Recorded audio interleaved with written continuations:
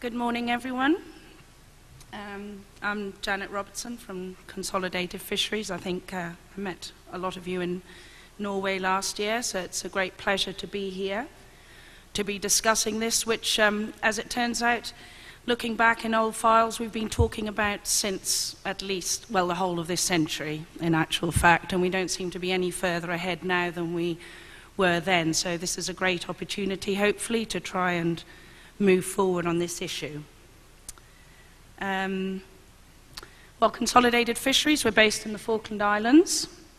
Uh, the map you see in front of you, it shows the uh, inner conservation zone, that's the inner circle, and the outer conservation.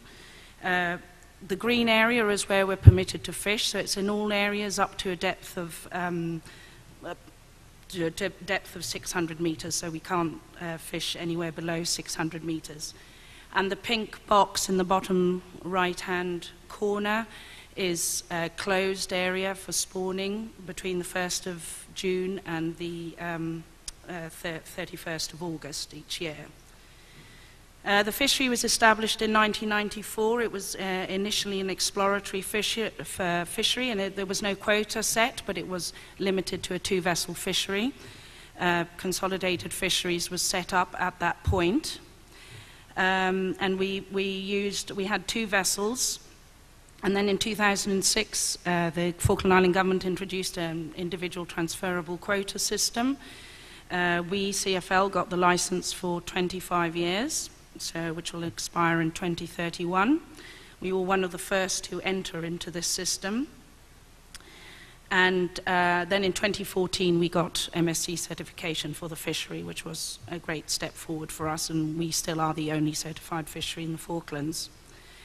Um, in terms of quota, uh, before, as I said, we were limited to a two vessel fishery. Then in 2006, when ITQ came in, uh, it was set at 1,500 metric tons. Then in 2008, it was reduced to 1,200 metric tons. At that point, um, we went to a one vessel fishery. We've got the CFL Gambler. And then in 2015, the quota was reduced to 1,040 metric tons. Can you hear me all right? Yeah. Um, as Eduardo showed you earlier on, we're using very much the same system as the Chileans. It's, uh, we call it the umbrella system or the cachalotera system.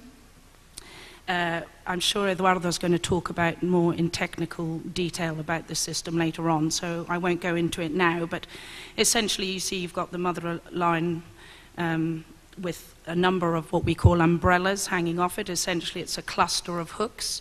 We have clusters of seven hooks. I think Global Pesca have clusters of ten hooks.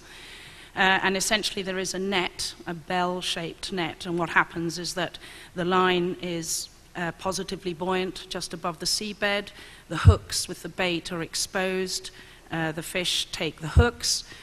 As the line is being hauled, the, uh, the umbrella falls over the fish and protects them, supposedly, from, from the whales. That's the principle and we've been using that system since July 2007. The question is, is it effective? Well, the fact is, and in fact, um, realizing this over the last couple of days as preparing for this workshop, in actual fact, no trials were really done to establish, in terms of whale depredation on its own, how effective this system was. Numerous trials were done uh, by the Fisheries Department to try and determine changes in CPUE and how the different fishing system operated from a, a catching point of view, but the sole issue of whale depredation and how effective it was was not really um, calculated. However, uh, there have been benefits. Under, with the umbrella system, bird mortality, well, it's been zero for us since uh, 2007. The only bird was killed was on the tori line two years ago. Um, and average CPUE is up. Uh, that was one of the things that the trials did establish in, in 2007, which had all sorts of effects on, on stock assessments. And more than anything, there we go, the captains are happy. Uh, they're the ones that, that trialed the system. They decided that it is effective, and uh, we've gone with that. So there is, at the moment, no reason for us to consider changing that system. Uh, depredation history. Well, uh, as I said, reports of adverse whale interaction um, began to seem like a constant issue as from about December 2001. That's when we really began to notice it. Uh, at that time, we had two vessels in the fishery, the Pioneer and the Valiant. The Pioneer was a converted trawler and had a very loud engine. That's about as technical as I can get about it.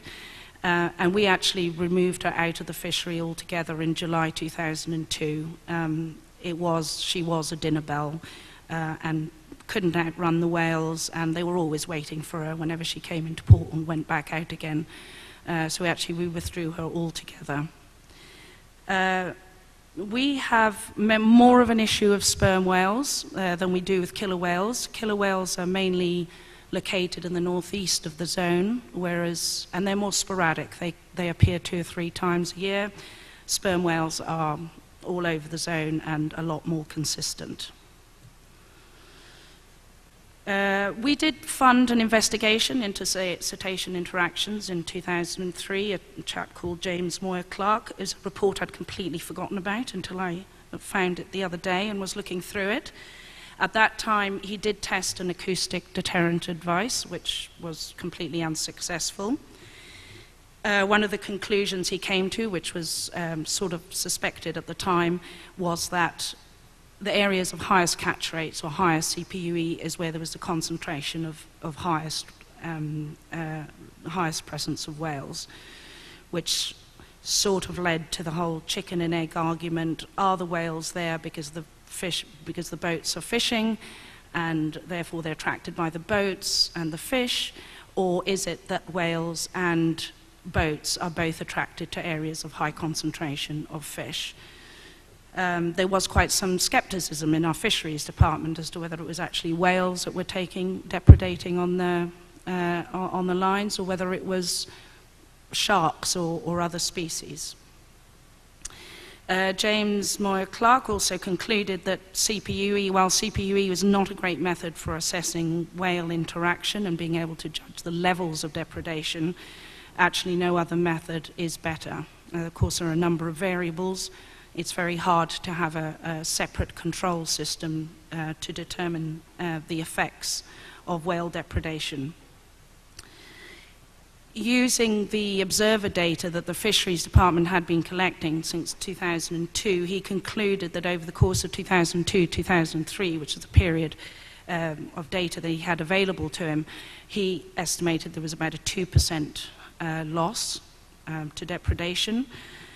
But on the field trip that he conducted on the Valiant at that time, he then concluded that there was actually, it was as high as 23% for that particular trip.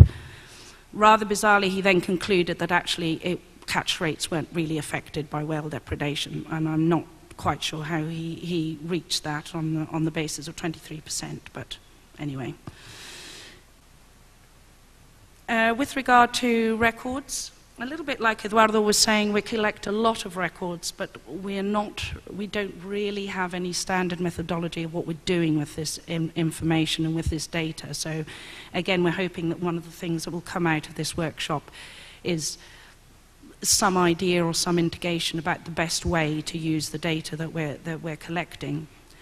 Um, for a start, daily interactions with, with whales, whale sightings, if you like are recorded by the vessel and included on the daily catch reports. We do estimate green weight lost, and that is taken out of our TAC. So uh, whatever the whales take does reduce what is available for us. Uh, we also we don't just record um, whale, whale, loss, catch loss to whales, but also to scavengers. I'll show you the records in a minute. Uh, also, separately, when the observers are on board, they take their own sightings and records, and that is the data that the Fisheries Department has been using recently to, to, to come to a number of conclusions. Uh, and we are measuring depredation rates in, in the number of kilos lost. This is just an example of a daily catch report. This is a summary, a summary of, uh, of daily. It's everything added together, which the vessel sends through every day. This, this particular one is for the 26th of December.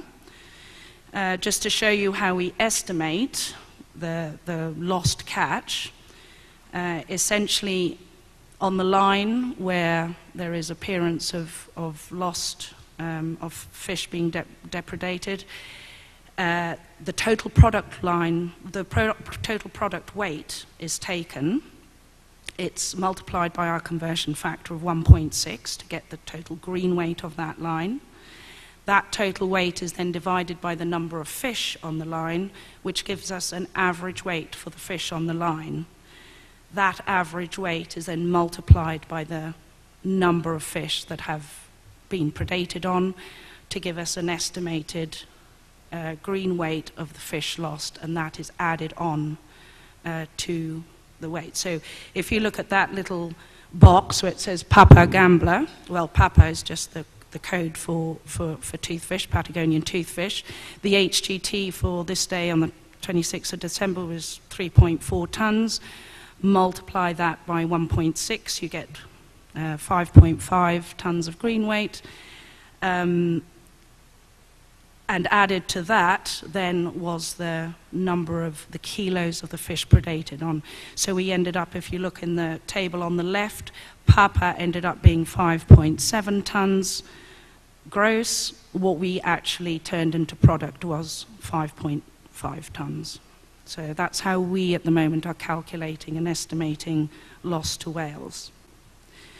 Uh, this is actually just a bit repetitive, but it goes to show this is the day those, the report I showed you earlier is then uh, put onto this sheet. This sheet, uh, the catch reports between the 26th of December and the 31st of December.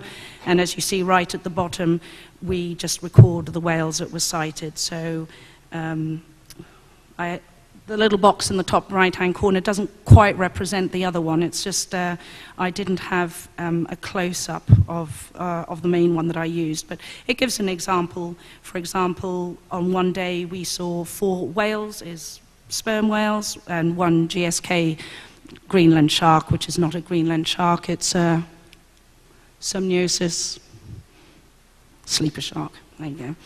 Uh, on another day, we had 14 killer whales and uh, one Greenland shark, and on another day, we had one whale, 10 killer whales, and one Greenland shark.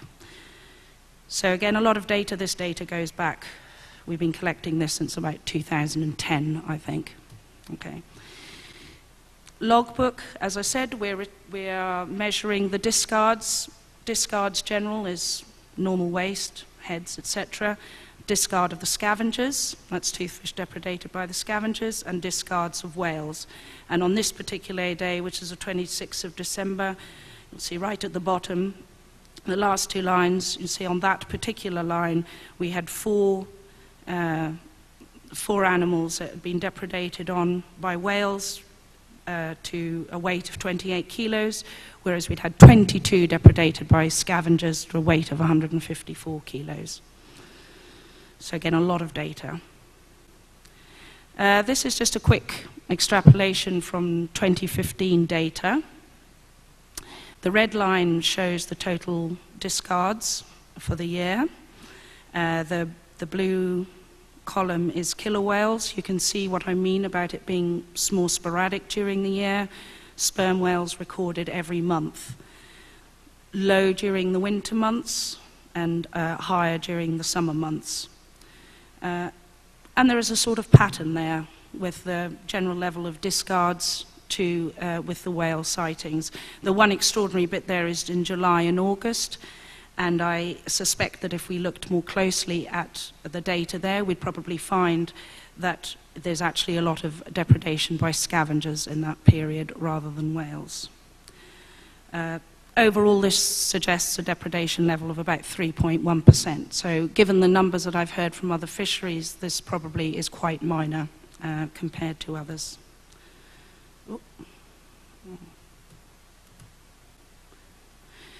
Right, the uncertainties. Um, we are doing the daily records of, of discards, but we don't always have a, an observer on board, so this is not necessarily verified by observers.